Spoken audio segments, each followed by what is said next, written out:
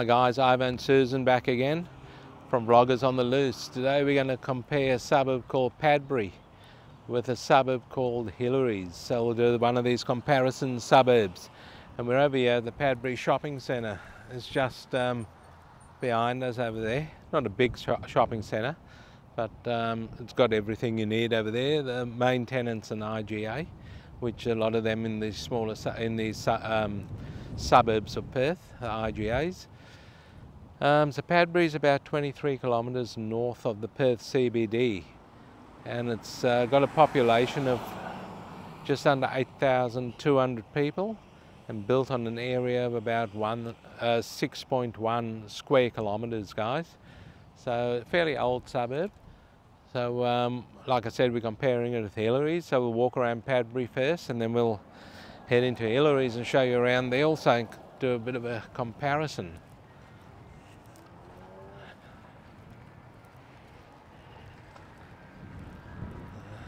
So um, this is just the road in front of the shopping centre over here. Called Warburton um, Road or Avenue. And um, fairly old houses over here guys. Dates back to the 1970s this suburb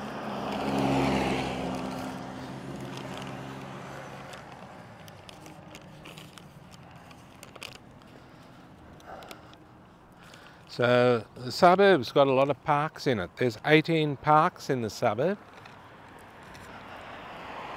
But you can see this house here, that's all been rendered on the on the front over there, but you can see the back the brickwork holding up the carport there, that's just plain brick, and the side there, that's just plain brick.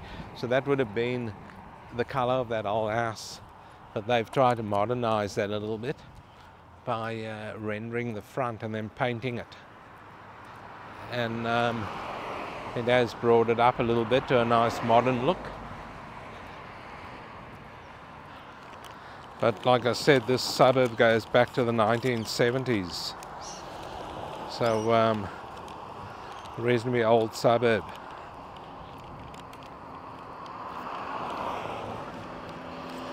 The suburb was actually the suburb was actually named in 1971 after a notable Western Australian settler by the name of Walter Padbury. And there's a Walter Padbury Boulevard in the area named after him also. Perhaps we should have taken you down that road, but it doesn't matter. There's um, South Padbury Primary School across there.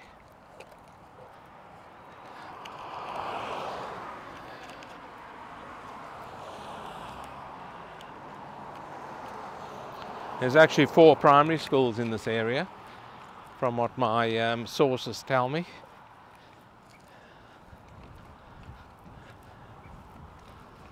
So, um, guys, quite an old suburb. You can see the houses. Um, to be honest, they're not that well kept.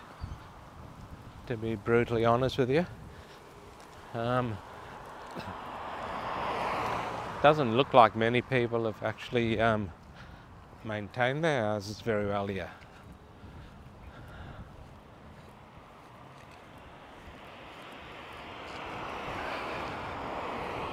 That even that primary school across there looks fairly um, old probably been there since since the 1970s also.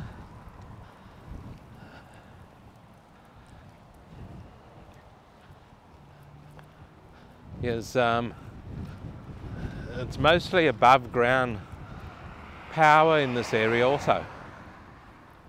When, uh, in say, when I say mostly, I can see a street, um, a street light over there that um, silver one, and that's underground for some reason. Um, but the rest of it is above ground what, from what I can see. So I don't know how that one snuck in over there, but that does look a bit odd because you can see the, the power posts over here, they're all timber power posts. And that one there is a, um, a metal one. So it's a bit odd that one. I don't know how he got in there. But anyway, we'll turn down this street over here and have a look at one of these side streets. Take you into the inner sanctions of Padbury and show you what it's all about. The suburb has um, undergone a bit of um, a price surge in recent years. In the last five years or so, there's been a lot of talk about the suburb. Um, and all positive, by the way. But um, yeah, people need to um, start maintaining their houses because a lot of it's um, look at this wall over here guys this retaining wall it's it's about to collapse it's got huge cracks going down you can see this big crack over here that one there's um, pushing out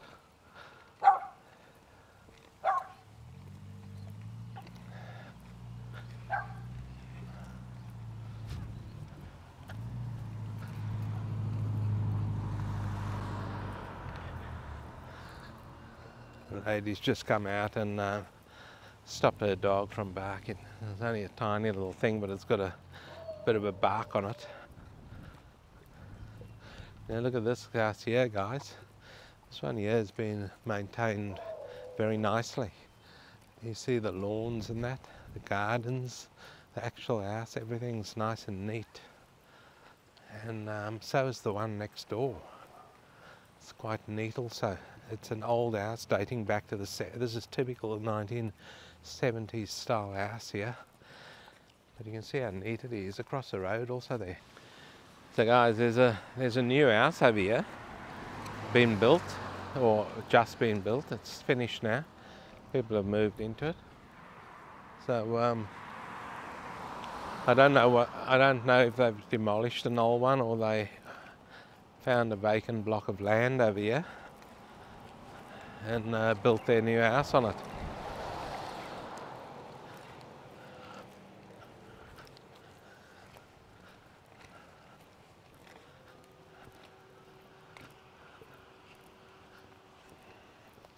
Yeah, look at this, guys. There's um, gardens over here. They had very low maintenance. That's all um, artificial turf up there, and then you've got a bit of gravel and stuff so that's very well kept, that house. And then you've got this one here. It's um, not well kept at all. So your typical older suburb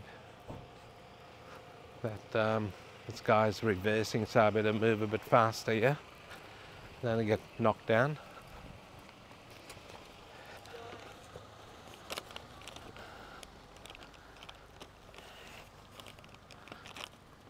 So guys, schooling wise, there's, like I said before, there's four primary schools in this area and only one high school. Sorry, the high school actually closed down, guys. It was called, called uh, Padbury Senior High School, but that ceased operations in 2011. So there's only primary schools in this area.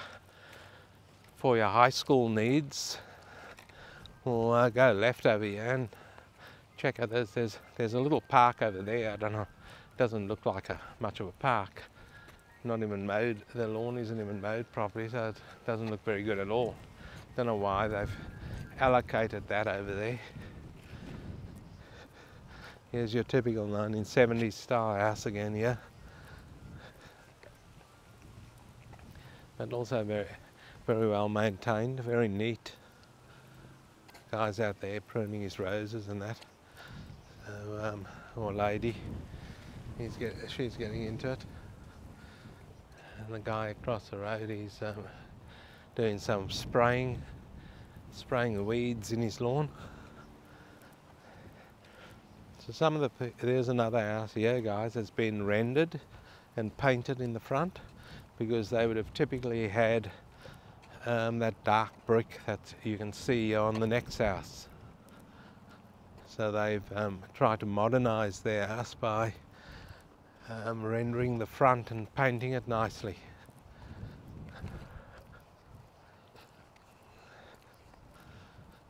The lawn's all been made nice here, but it's dead.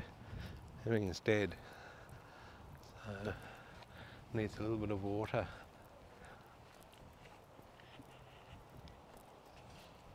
So as we make our way through the suburb of Padbury in Perth, Western Australia, on a um, pleasant day in Perth today, a bit blowy, because Padbury is um, reasonably uh, close to the to the coast.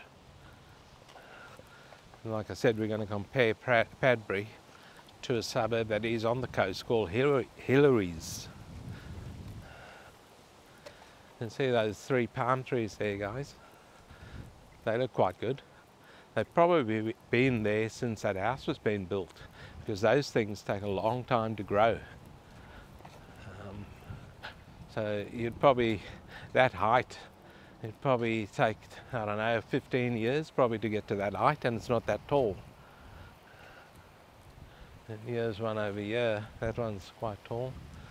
I think they call a cotton palm, those ones.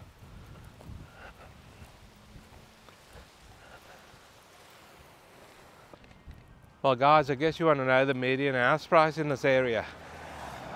Um, my executive producer wasn't very impressed with the area. Neither am I, to be honest. But the median house price in this area is 700,000 Australian dollars, guys. 700,000 Australian dollars. Yes, you heard correct. And um, the median unit price in this area is 485,000 Australian dollars. And the median land price is 301,000 Australian dollars. Uh, look at this, yeah, they've um, yeah, they've tried to do a few things here. Just slapping a bit of strange type mortar on the walls on either side there and then leaving the dark brick. It didn't really work out in my opinion. This one they would have been better off doing what these people have done here. Doesn't that look much neater? I've also noticed guys the typical of the day over here the house the house the roof pitches in this area are very low as you can see they're extremely low these days they've got much more of a pitch to them now look at the, this is all above ground power here guys. This is what you've got over here in front of your house. That's, that's not very good. And you've got wires going everywhere, absolutely everywhere. Um, above, above ground. There's another park across there. This is, this is what they call the parks in the area. They're not very um, good in my opinion. It's just a little bit of vacant land splattered here, there and everywhere.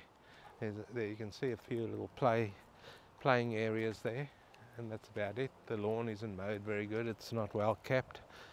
And look at this house here on the, that's a, that's your typical 1970s. It's a shocker. That's got the clinker brick in it, that real dark brick that's a bit rough on the outside. And look at those awnings, they've seen better days. Here you've got that rough um, texture again on the wall in the house over here, which I must say I'm not a fan of, guys. So anyway, um, the cheapest house that we've seen in the suburb, and it's um, only a three bedroom, two bathroom and two car garage. It's on a very small block guys, it's on 313 square metre block and it's on the market for 600,000 Australian dollars. And um, there wasn't much more on the market in this area because believe it or not guys, it is a very popular area. Um, I don't know if it's been popularized by hype, real estate hype, or if it has actually, because I wouldn't pay 600k for a house in this area, me personally, that's my own personal view. You know, have a look at this house here, guys. That that that roof needs a new roof on there. There's actually thick moss growing in the gutters and that. So um, That doesn't look too good. The fence is even in bad shape over here. Anyway, guys, that's um, that's about it for Padbury, I guess. Um, we might head into Hillarys now and show you guys around there and do a comparison of the suburb, of the two suburbs. So we'll see you in Hillarys. Okay guys, we've arrived in the suburb of Hillarys that we're comparing with Padbury. So over years, the Hillary Shopping Centre. And it's a funny little shopping centre because you can't see it from the road. It's um, built down. You can see the steps going down there, quite a, a, lot of steps going down. And then in front of it over here um, is a row of, um, these are all olive trees over here. So the shopping centre is actually hidden from the um, from the road and from those houses across the road. Now Hillarys is um, about 21 kilometres north of the Perth CBD. It's a coastal suburb and there's about 10,800 people in the suburb built over an area of 6.3 square kilometres. So quite a few more extra residents here than the suburb we're comparing it to. And I think it's built over about the same amount of kilometres, um, which is Padbury. Hillarys seems a more opulent type suburb because it is coastal. There are smaller houses in the area, of course, and older houses.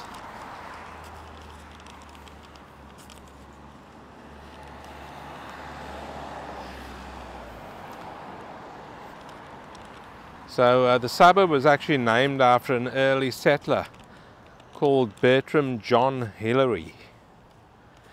And his occupation was as a fisherman in the area. How cool is that? The suburb was actually gazetted in 1971, guys. And the major attraction in the area is um, the Hillarys boat harbour and Sorrento Quays, which we actually done a, a video on for you guys. And we will link it to this one. Here we go, yeah guys, this is the name of the shopping centre over here. Hillary Shopping Centre. And that's virtually all you can see of it because it's sunk right down. And uh, there's some, it's an interesting little shopping centre. It's quite good actually. They've got a lot of little pathways meandering through the shopping centre and the main tenant in there is a grocery store called Coles. And uh, there's a nice little cafe in there. Never ever been in there, but the food smelled really nice. Um, we couldn't actually film in there, guys, because there's a lot of music playing in there. So um, we'll just take a walk down a few of the streets over here in Hillarys and uh, show you guys around. There's a Looks like some sort of renovation going on across the road there because they got that big um, bin in the front there with all the rubbish and stuff. Hey guys, like, uh, so like I said, um, uh, the suburb was gazetted in 1971, so there'll be a mixture of um, large and small houses. There's actually a police station here, smack bang in the middle of it all, next to the shopping centre. Didn't realise that. There's the shopping centre there. That's the main tenant, Coles, over there. So, um, yeah, like I said, this place was gazetted in 1971 and there'd be a mixture of um, small and large houses. We shall point out a few of the small ones. There's a couple of here actually. The smaller, older style houses there. The 1980s um, style house, houses over there.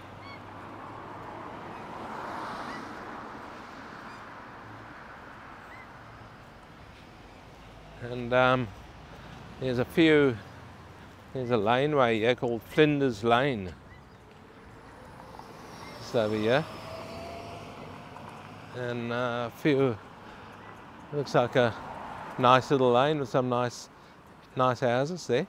So these will be these will be um, some of them will be the backs of people's houses there. So you'll get the garages. You'll just drive down that laneway and you'll your garage will be there and the front of the house will be on the other side. So it's obviously built on smaller, smaller, longer blocks, and those houses will take up most of the block of land. So guys, here's, here's one of the smaller type houses in Hillarys.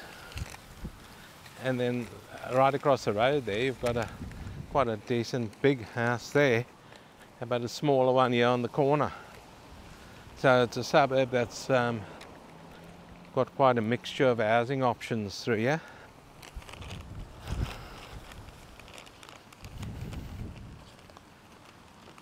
Now the Sorrento Quay area, like we talked about before, that's got a that's a a crowd pleaser, so to speak, because there's always a hell of a lot of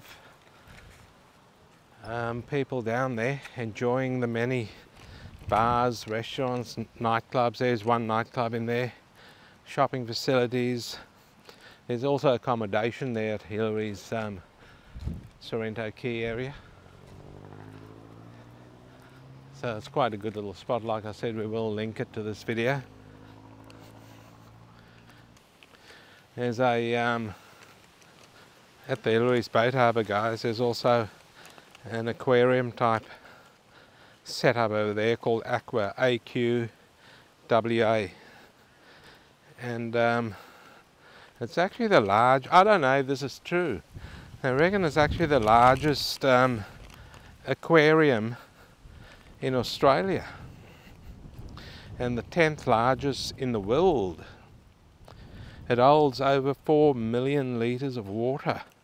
So it's quite an interesting thing. It's like a conveyor belt type setup from memory. I've only been there once a long time ago. And you stand on this conveyor belt and it takes you under under the water. You can see all the fish and that swimming around and the coral and all that type of stuff. So it's quite an interesting spot. So I don't know if that's true about it being the largest in Australia, but anyway, that's the research that I've done and that's what I came up with.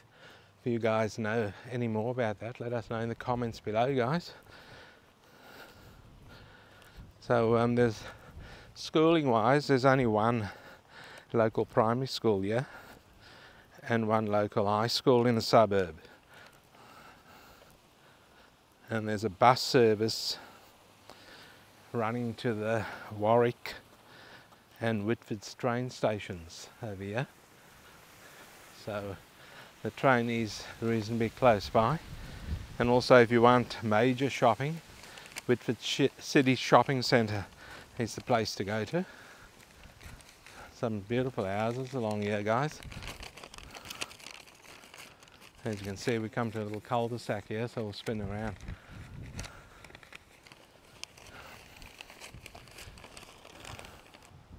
Hi guys, so you can see over here, here's also a few older style houses over here. We've, we've taken you into the middle of the suburb, so we haven't actually gone on the beachfront because that, those are all the mansions over there, all the flasher houses, and you might not get a, a sort of um, proper perspective of the area. So we thought we'd do this to compare, because we are comparing, comparing it to Padbury.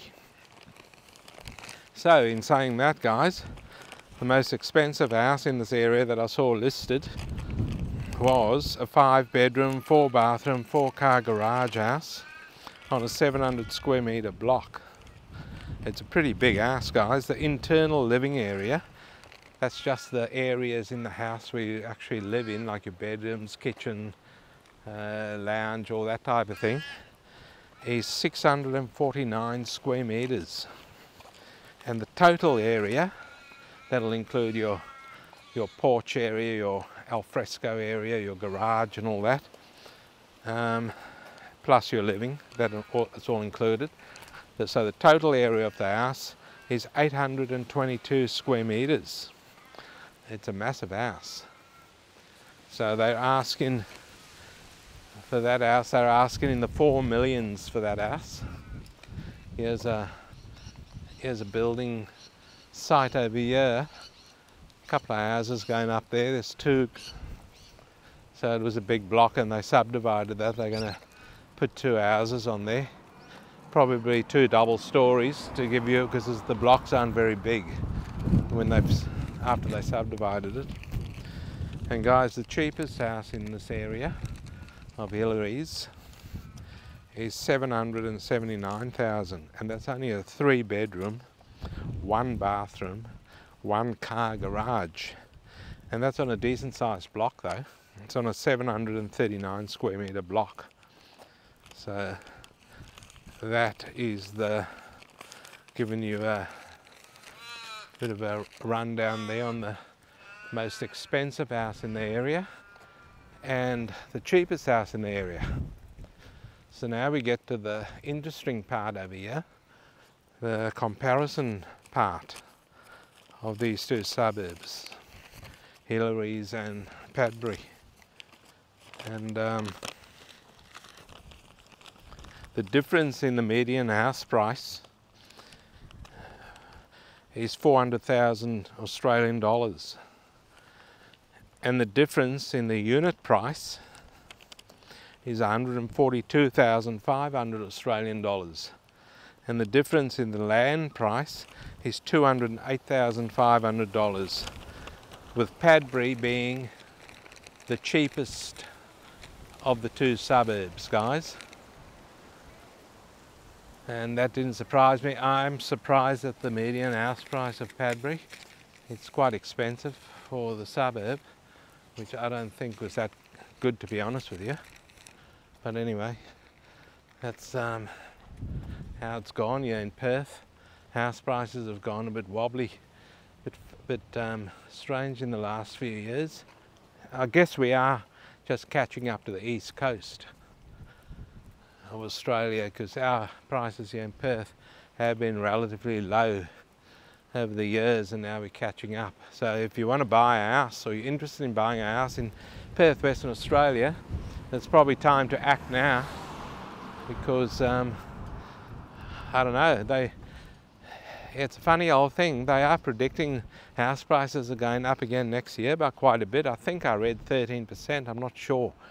But yeah, that's quite a big hike. Something has to give, in my opinion. But anyway, if you're thinking of buying a house um, and you can make 13%, why not go for it?